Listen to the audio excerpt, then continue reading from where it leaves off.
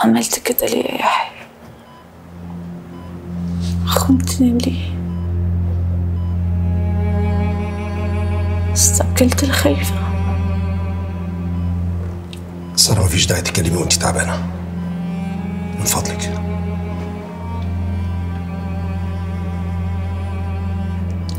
السكوت هيتعبني أكتر.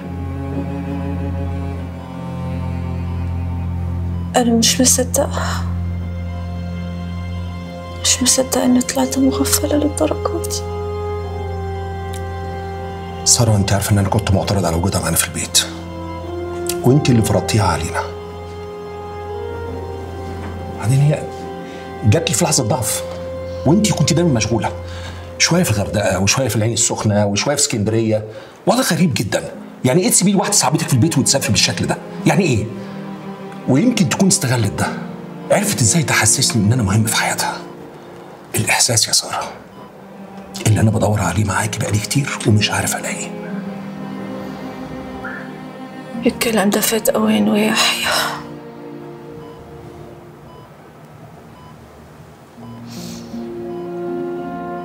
كنت تقدر تقول الكلام ده من غير ما تخوني.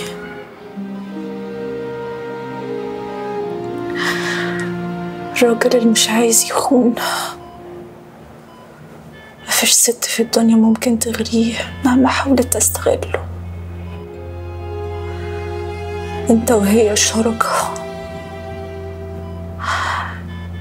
انت وهي شركاء في جريمة واحدة.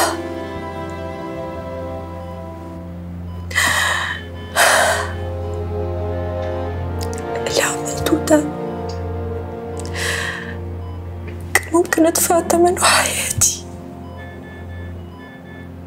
بس للأسف.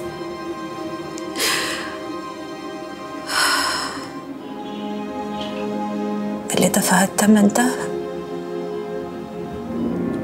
ابنك يا يحيى. ابني اللي كنت بحلم بيه.